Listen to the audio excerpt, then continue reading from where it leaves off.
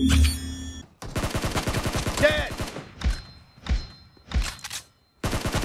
No mercy! Cover me! Clear! Então, né, você já viu a prévia de como que vai ficar essa configuração que eu vou mostrar aqui para você no Free Fire, PUBG Mobile e também COD Mobile. Você viu que o desempenho ficou muito bom é isso que você vai ter assim que você adquirir essa máquina. Você pode usar ela para fazer suas gameplays e também live stream. Eu faço muito live stream nesses jogos e cara, eu não me decepciono. Você consegue rodar muito bem. Você pode seguir sua carreira de streamer com essa máquina sem gastar muito, beleza?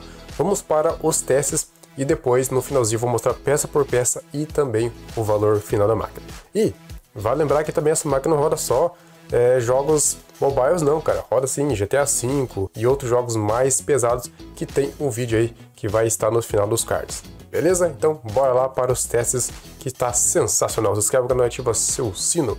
E vamos começando aqui o teste no COD Mobile, que eu usei aqui o Game Loop, que é um dos melhores que eu encontrei aqui para você usar esses jogos mobiles. Então, quase em tempo todo do, do teste aqui, te consegue rodar muito bem acima dos 50 FPS, 60 FPS tranquilamente, que COD Mobile é um jogo bem complicadinho, né? um pouquinho mal, mal otimizado mesmo.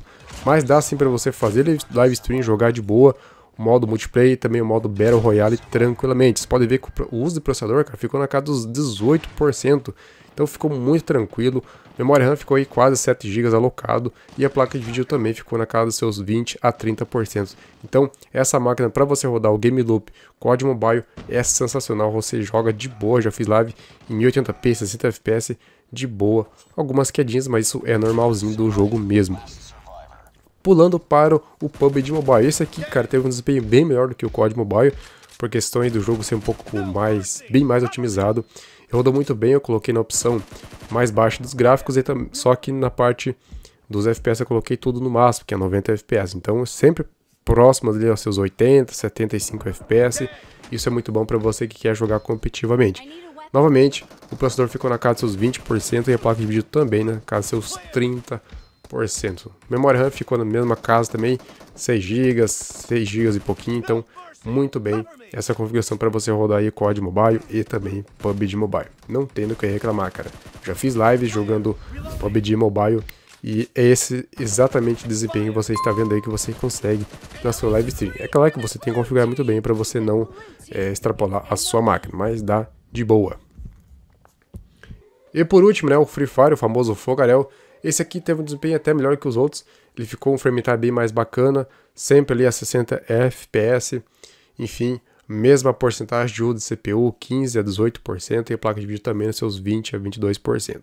Então, para você que quiser jogar, é claro que tem outras opções aí, você pode usar BlueStacks, enfim, isso é de acordo com você. Eu uso o GameLoop porque para mim é um dos melhores, é um dos mais otimizados para esse estilo de jogo, mas você pode usar aquilo que você realmente desejar e extrair mais desempenho ainda, né? Enfim, esse foi o desempenho no Free Fire.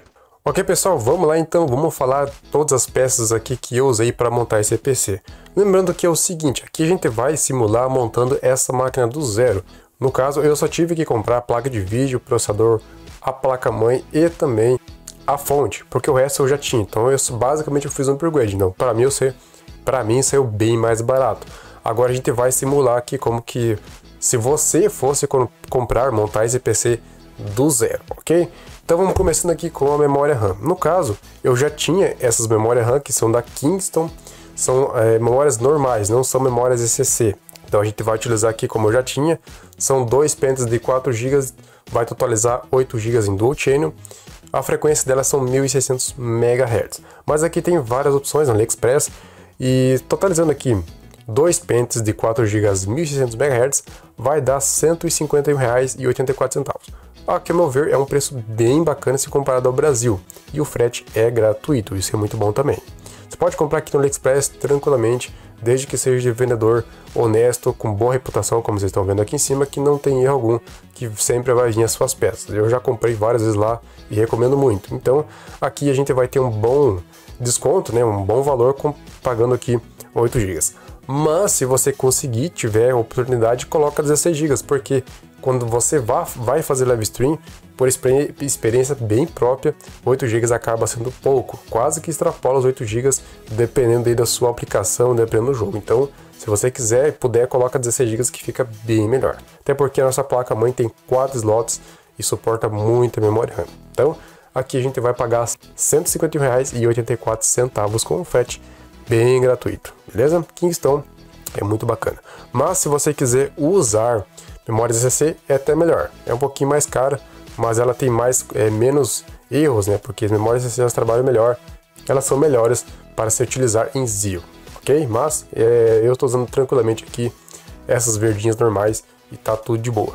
Vamos para o gabinete. O gabinete, cara, eu nem ia colocar gabinete, mas para a gente fechar um conjunto total, né? Eu quis colocar o gabinete mais barato que eu achei aqui, que é R$ 139,90. É o gabinete aí Fortrex ATX, até que é mais ou menos o gabinete, então eu vou deixar isso aqui só como para não dizer que não estou colocando o gabinete. Mas você escolhe aquele que você quiser. Se você tiver um gabinete em casa, melhor ainda. É só dar um tapinha que nem eu fiz com o meu aqui, cara. Deixei sensacional, pintei por dentro, ficou preto, ficou gamer mesmo.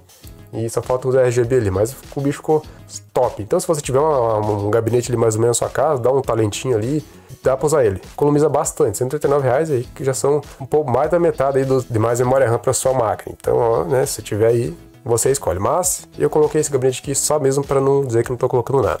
A placa de vídeo, cara, infelizmente, né, o preço subiu muito das, dessas placas de vídeo. Quando eu comprei essa placa de vídeo, no caso uma GTX 750 Ti, foi pago 140 reais. Isso foi em 2018, eu acho, 2019, algo do tipo. Então, de lá para cá, né, 2020 para cá, subiu muito.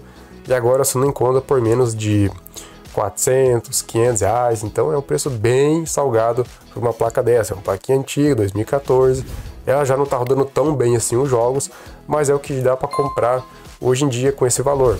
Então, a minha é exatamente essa aqui da Asus, de 1 GB de VRAM. 1 GB de VRAM, cara, confesso, é pouco. 2 GB tá 2 GB já tá sendo pouco, imagina 1 GB. Então, tem jogo aí que eu tenho que fazer um, nossa, baixar para HD, nossa DSP, porque realmente 1 GB acaba sendo bem pouco mas dá sim para se virar nos jogos como Free Fire, COD Mobile por aí afora, como já disse. Então dá sim para jogar tranquilamente, até porque ele não puxa tanto da placa de vídeo, puxa mais da CPU. Então por isso que a nossa CPU ela é muito potente para rodar esses jogos. Então não esquente tanto assim com placa de vídeo, a não ser que realmente você queira jogos mais pesados. Aí tem a GTX 960, tem a 970, tem a X570, só que são placas um pouco mais caras do que já é. Todas aqui estão caras, não adianta, né? Infelizmente a gente está vivendo numa época que tudo tá caro. Então, para a gente não sofrer com falta de VRAM, se você quiser jogar um jogo mais pesado, tipo GTA V, né? Subir um pouquinho mais os gráficos, é, pega essa aqui que tá basicamente a mesma coisa, mesmo preço, é a mesma marca, e ela tem 2 GB de VRAM. Só que ela tem aqui dois fãs, vai refrigerar melhor. E essa aqui ela é alimentada pela PC Express, não precisa de alimentação extra, né? Apesar que a fonte nossa super tranquilo essa, essa questão. Mas essa aqui, se não me engano, acho que vai precisar de alimentação extra. É, nesse vídeo eu coloquei essa opção aqui, que é a mesma coisa que dessa aqui, 572, mesmo preço. E essa aqui vai ter um fretezinho aí um pouquinho mais carinho do que essa aqui, né? 55 reais.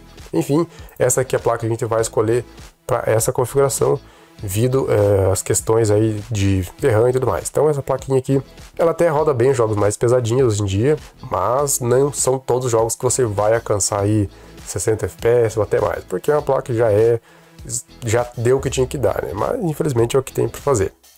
Vamos lá então. Cooler, cara, eu usei exatamente esse mesmo cooler, comprei no, no Mercado Livre então foi da marca Dex, o modelo DX2011, ele é compatível com várias plataformas, não só a Zio, no caso 2011, mas ele é compatível até com LGA 1155. Ele é um processador, ele é um cooler que é silencioso, extremamente silencioso, você não vai escutar um ruído nesse cooler. Ele é bonito, ele é 120 mm a fã, então é bem grande e também fora que ele aguenta até 160, se não me engano, 130 watts TDP. Então se você quiser colocar um processador um pouco mais esquentadinho, né, um pouco mais potente, ele ainda vai dar conta. Fora que ele é muito silencioso, dá a impressão que ele é grandão, ele é grandão, só que dá a impressão que ele é pesado, mas não, ele é um, ele é um cooler bem leve, bem tranquilo de manusear. E, cara, tem a opção aqui tanto do LED vermelho quanto o LED azul. Eu coloquei o LED azul que eu acho mais bonitinho ali no meu PC. Então, esse cooler aqui dá tranquilamente para você refrigerar tanto AMD quanto a Intel de boa. E o preço aqui tá bem bacana com frete grátis. Para minha região, né? Pode ser que para sua região não tenha frete grátis. Armazenamento. Eu uso um HD da WD Blue de 1TB. Mas eu fui pesquisar aqui o WD Blue e tá um pouquinho mais caro. Então peguei aqui o Seagate Bakura também de 1TB, que é marca muito boa também. E tá em promoção por 7 dias. Talvez se você ver esse vídeo mais pra frente, preço já vai estar normal. Mas 304 reais é um preço até que bacana para um HD de 1TB. Nessa configuração aqui, pessoal, eu não vou usar SSD. O certo seria, né? Mas a gente vai economizar o máximo que der. Mais pra frente, se você quiser, você pode com comprar um SSD lá no AliExpress. Eu vou trazer aqui alguns vídeos de umas marcas de SSD bem bacana no AliExpress de 1TB por menos de 500 reais, bem bacana mesmo. Até eu tô pensando em comprar um. Porque HD, cara, é lento, não adianta.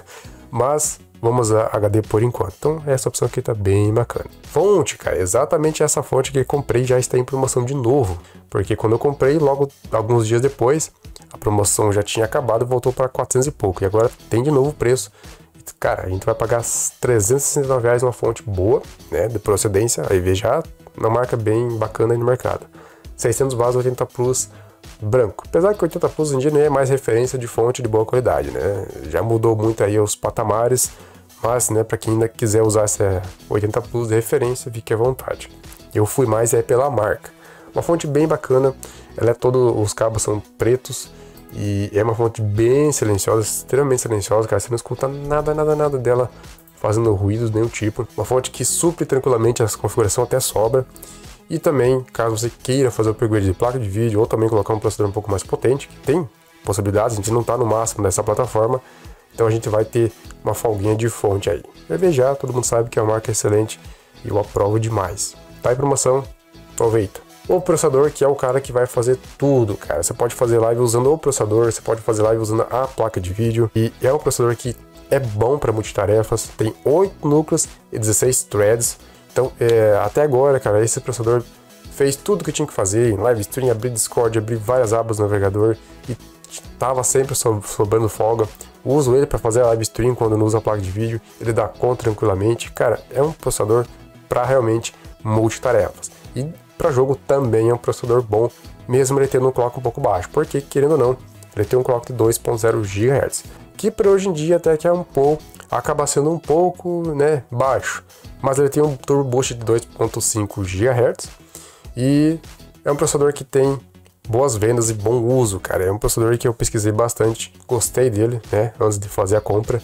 Até hoje está tranquilamente. Ele tem 20 MB de cache, então muito bacana para você que usa essas memórias com frequência um pouco mais baixa, né? Enfim, não é SC, esses 20 MB de cache vai ajudar bastante. Então, cara, esse processador quando eu comprei tava 86 reais, com os cupons de desconto, tava em promoção agora subiu o preço para 135 reais.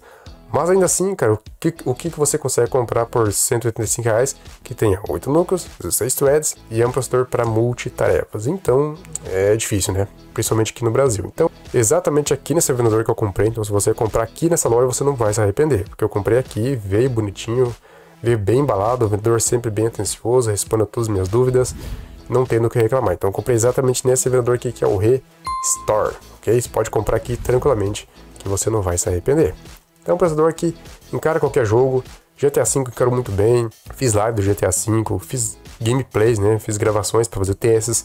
Cara, esse processador aqui não tem coisa melhor para essa faixa de preço. É muito bom mesmo. É a versão V2, não é a versão V1, é um pouquinho melhor, né? Ele suporta tanto memórias SSC quanto memórias de desktop, aquelas que eu anunciei no começo do vídeo. Então, ambas suporta de boa e é um processador que encara qualquer jogo, qualquer tarefa, renderização, trabalho, que você queira fazer isso. Então não se preocupe que esse processador aqui ele vai muito bem. Já faz mais de um mês que eu estou usando ele e até hoje não, tem, não deu problema nenhum, veio bonitinho, certinho, sem quase nenhum risco, cara. Parece que é novo esse processador aqui, é lindo, maravilhoso. Agora, a placa-mãe, para a gente finalizar aqui o nosso setup, seria exatamente do mesmo vendedor que comprei, tá? Exatamente é o mesmo vendedor, a mesma marca da Kisler. É uma placa-mãe básica dessa plataforma, mas o que a gente pretende fazer com ela é extremamente boa. Por quê? É uma placa aqui que ela tem um VRM até que mais ou menos, né? Não sei se essa aqui faz a tecnologia é, Unlock Turbo Boost, né? Que é para você destravar todos os núcleos do Zio a, a máxima frequência que ele tem. Então não sei se é exatamente essa placa que tem esse suporte. Eu não quis fazer, né? Nem quis ir atrás muito para para ver se faz ou não, porque realmente isso não me interessa. Agora, se você é um usuário que queira fazer essa gambiarra, entre aspas, né, para você ter é um tipo de overclock, né? Eu recomendo você pegar uma placa-mãe um pouquinho melhor, com um sistema de VRM um pouquinho melhor também, alimentação, né? Para você não se, se decepcionar lá na frente, porque é um, querendo não fazer um lock turbo boost é um procedimento um pouco arriscado se você não souber fazer, ok? Mas eu não vou entrar nesses métodos ainda. Enfim, é uma placa-mãe aqui que tem quatro slots E é uma placa aí que tem suporte a SSD NVMe M.2, fica exatamente aqui embaixo, abaixo da, da, do slot PCI. Então é uma placa simples, mas que atende muito bem. Eu fiz o teste quase 24 horas em stress no i64 e tudo mais, para ver né, se ela ia conseguir dar conta do ZIL, né? 100% operando no máximo e cara, não passava desses 60, 70 graus, até menos do que, do que isso, até porque o cooler é muito bom. Por isso que eu já quis pegar um cooler bem potente, porque, né, caso queira fazer algum procedimento, ele dá conta. Então, não esquentou os VRM acima do normal, manteve a temperatura muito boa. Cara, é uma plaquinha que tem todos os suportes que a gente precisa. Tem USB 2.0, enfim, é muito bom essa placa. Então a gente vai pagar aqui R$ 369,06 centavos. Frete grátis também. Placa acho que está do mesmo preço que eu paguei da última vez. Se tem alguma coisa a menos aí é pouca coisa, então ainda não subiu o preço. E cara, se você quiser uma alternativa diferenciada da, da placa de, de vídeo, né? Tem a GTX 960. Ao meu ver, ela é um pouquinho melhor sim que a GTX é, 750 Ti, só que ela está um pouquinho mais cara. Hoje você encontra aí na casa dos 700, 800, até mil e poucos, né? Ela tem um pouquinho mais de desempenho, mas ela ainda assim vai continuar tendo 2 GB de VRAM. Aí é a sua escolha. Se você quiser ter um pouquinho mais de desempenho, vai dar 960. Agora, se você quiser desempenho normal, pega a 750 Ti, tá? Porque, a meu ver, não tem tantas opções assim nessa faixa de preço para você fazer um upgrade que vai rodar tipo um código Warzone, por exemplo. Até porque essa placa não dá conta. Eu fiz o teste, não, infelizmente ela não dá conta. Nem 960, então fica meio complicado aí. Essa aqui realmente é para você rodar jogos mais leves e não quer gastar tanto. Falar em gastar tanto, vamos falar aqui em questão de preço, né? Porque é o que mais interessa nesse vídeo. Vamos lá. Eu, quando fiz a soma aqui, até eu fiquei meio falando, nossa, tudo isso. Mas, infelizmente, né, cara? Eu não somei frete das peças. Ah, eu sei as peças que vem no AliExpress, porque isso é meio que padrão para todo mundo. Agora, tipo, é, as peças que compra na Kabum por, e Mercado Livre, eu não quis somar o frete porque cada é, o frete depende da sua região. Às vezes o pessoal que mora no Nordeste é um frete, e para mim é o outro. Então, some o seu frete. Então aqui, somando alguns fretes do AliExpress e sem somar o frete dos, dos outros lugares, deu R$ 2.558,22. É um preço bem salgadinho até, porque é mais na questão da placa de vídeo, pessoal. Realmente a placa de vídeo é um pouquinho fraquinha para os jogos mais pesados atualmente. Se você quiser trocar e colocar uma placa de vídeo mais potente, tiver cacique para isso, não se preocupe, porque o Zinho ele dá conta assim de empurrar uma placa de vídeo mais potente. Eu já vi testes nesses dias do uma RTX 2060, de uma GTX 1660 Super, 1660 Ti, quer dizer, uma 1650 Super. Então é um processador que dá conta de empurrar essas placas de vídeo, RX570 e por aí afora. Mas o intuito aqui é economizar para você rodar aqueles jogos que eu citei no começo do vídeo. Então ficou, não é um preço competitivo, vamos dizer assim, não é um custo-benefício, nossa, das alturas, mas é o que tem para a gente fazer hoje. Então ficou esse preço aqui, R$ 2.258,22. Tudo pode variar, pode subir, pode também baixar, tem os fretes ainda para somar, né? Então é complicadinho. Mas é o que tem para fazer, pessoal. Infelizmente é o que dá para fazer nesses tempos aí que não tá muito boas as coisas, né? subiu tudo. Mas ao decorrer do, do, do, do, tempo a gente vai trazendo algumas opções aí é, viáveis, né? Vamos tentar trazer mais baixo ainda o valor, kits, né? Completos, enfim, vamos ver. Então por isso se inscreve no canal, ativa seu sino para você não perder mais, caso eu consiga trazer algo, algo mais interessante, mais barato também, que entrega um bom desempenho. Placa de vídeo em promoção, CPU, placa-mãe, enfim. Vai se inscrevendo que você não vai se arrepender. Beleza? Então nossa configuração ficou isso aí. E se você quiser rodar outros tipos de jogos, mais pesados ele até consegue. Tem vídeos no canal trazendo vários testes com essa máquina, rodou muito bem até. E jogos que é muito, muito pesado, realmente a placa de vídeo não vai dar conta. Agora o resto dá conta tranquilamente. Então é isso pessoal, a gente se vê no próximo vídeo. Um grande abraço, até mais e falou!